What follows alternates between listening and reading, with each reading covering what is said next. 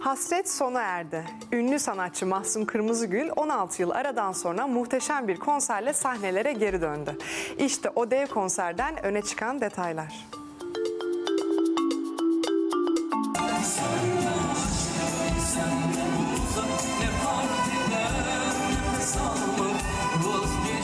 Vazgeç 16 yıl aradan sonra müzik dünyasının dev ismi Mahsun Kırmızıgül sahnelere döndü. Boğazı yıktı geçti.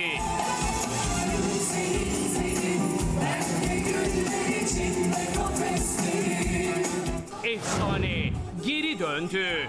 Özlem sona erdi. Mahsun Kırmızıgül'den yıllar sonra dev konser. Sensizlikten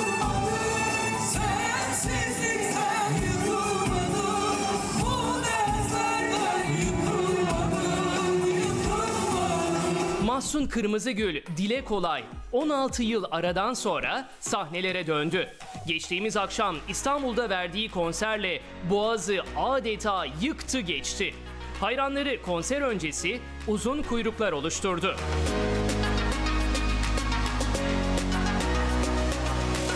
Konsere gelen Oktay Kaynarca'nın yanındayız şimdi de. Yıllardır Mahsun Kırmızıgül'e sahneye çıkması için telkin veriyormuş.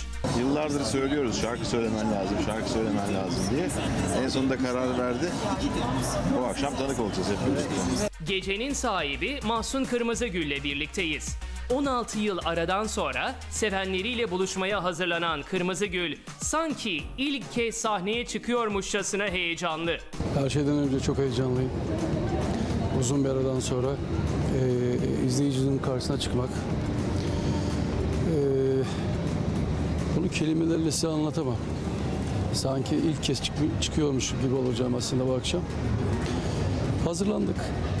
Ben de çok özlemiştim sahne çıkmayı. Birazdan çıkacağım. İzleyiciyle karşı karşıya geleceğiz. 16 yıl dile kolay. Mahsun Kırmızıgül bu süreye birçok sinema filmi sığdırdı. Müzik hayatına ara verdi ancak bugün hasret sona erdi. 16 yıl içinde çok değerli 6 sinema filmi yaptım. Ve bu filmlere iyiden iyi alışmıştım aslında. Şimdi tekrar sahneye çıkınca bacaklarım titriyor desem yeridir yani. Hayranları da onu çok özlemiş görünüyor. Konser öncesi uzun kuyrukların oluşması ve biletlerin günler öncesi tükenmesi bunun göstergesi aslında. Çok özledim gerçekten. İnsanlara dokunmak gerekiyor. Sinema tabii biraz daha farklı. Sinemada benim her filmde yaklaşık 3 bin kişi, 5 bin kişiyle uğraşıyoruz biz.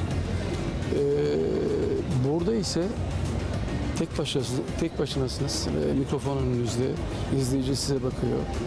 Ee, bu çok e, heyecan verici aslında bir şey. Gelelim geceye. Nasıl sürprizler bekliyor izleyiciyi? Biraz farklı bir konser olacak. Bizim iki farklı konseptimiz olacak. Birisi e, açık havalar için, diğeri de e, özel geceler için. Açık havalar için biraz geçmişten, şarkılardan, filmlerden, e, sevdadan, aşktan ve masum hikayelerden konuşacağız aslında. İzleyiciyle biraz interaktif bir ortam olacak. İşte asıl bomba. Mahsun Kırmızıgül sahnelere döndü. Ancak yapımcılığı geri plana itmiş değil. Yeni filminden ilk tüyoları konserde verecek. İşte bu akşam o filmden küçük küçük hikayeler de anlatacağım. Herkesin böyle bekleyeceği müzikle ilgili. Ee, aslında hepimizin yaşantıları farklı olsa da başarı hikayelerimiz hepimizin birbirine benzer. Ee, bir başarı hikayesi anlatacağım ben. Bu sadece benim değil. Aynı zamanda e, o dönem yaşadığımız Hilmi Topaloğlu, sevgili Haluk Levent, Özcan Deniz. Bizim 1991 ile 94 arasında müthiş bir hikayemiz var. Ve filmin ismi de Prestij Meselesi. Ve mekanın sahibi geri geliyor.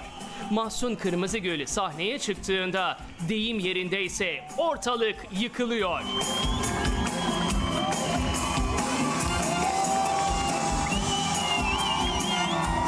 Mahsun Kırmızıgül konsere nostaljik bir şarkı olan Gül Senin Teninle başlıyor. Ne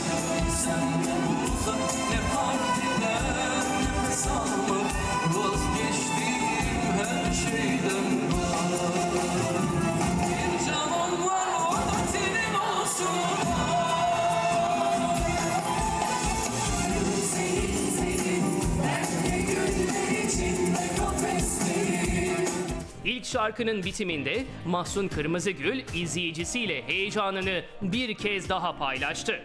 Şarkılardan, filmlerden, sevgiden, dostluktan, biraz da masum hikayelerden konuşacağız. Çok uzun zaman oldu tabii. Ben son dönemlerde, son 15-16 yıldır film setlerinde olduğum için böyle heyecanlara alışkın değilim. Onun için birçok şeyi unuttum.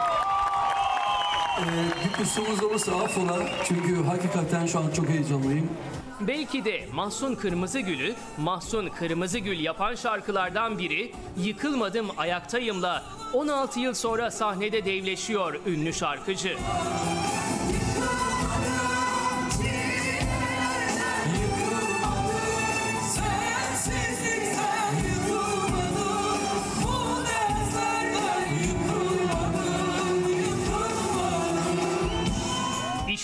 Son albümünden Eyvah Eyvah şarkısı. Kızı için söylüyor Mahsun Kırmızıgül. Son albümden bir şarkı. Benim kızımın en çok sevdiği şarkı. Onun için söyleyeceğim. Eyvah eyvah.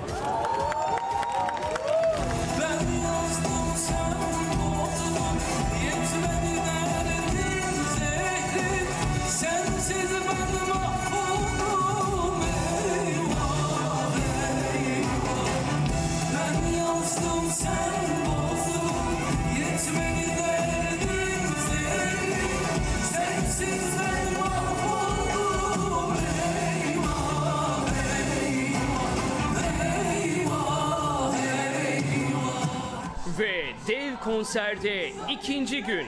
Mahsun Kırmızıgül şarkılarıyla muhteşem bir gece yaşatıyor hayranlarına.